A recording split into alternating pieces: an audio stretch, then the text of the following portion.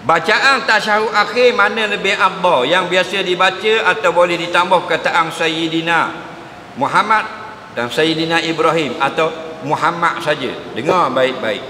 Bila kita baca tasyahud awal, tasyahud akhir, ada kita berselawat. Allahumma salli ala Muhammad wa ala ali Muhammad kama sallaita ala Ibrahim wa ala ali Ibrahim wa barik ala Muhammad wa ala ali Muhammad kama barakta ala Ibrahim wa ala li Ibrahim fil alami innaka Hamidum Majid. Betul tak? Maka siapa yang membaca nama Muhammad dan Ibrahim saja tidak menyebut sayyidina solatnya sudah sah. Faham? Nah, solatnya sudah sah kerana dia sudah mendatangkan sekurang-kurang selawat yang sabit di dalam hadis.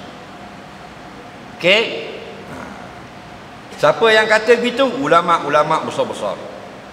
Antaranya almarhum Syekh Hasanain Muhammad Makhluk bekas mufti besar negeri Mesir tahun 50-an dia kata barang siapa yang tidak menyebut sayyidina ketika selawat dalam tasyahud maka solatnya telah pun sah tetapi siapa yang menyebut Sayyidina Maka dia melakukan sesuatu yang afdal Dan salatnya juga sah.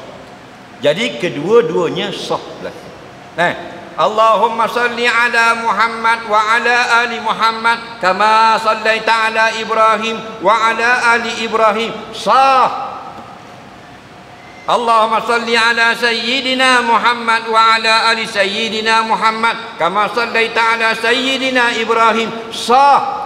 Dua-dua ulama kata sah. Ada masalah okey sesar eh? Soalan seterusnya